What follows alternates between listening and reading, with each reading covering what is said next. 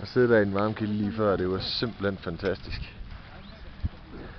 Bjerg over bagved. Og jeg ved ikke, hvor godt man kan se det.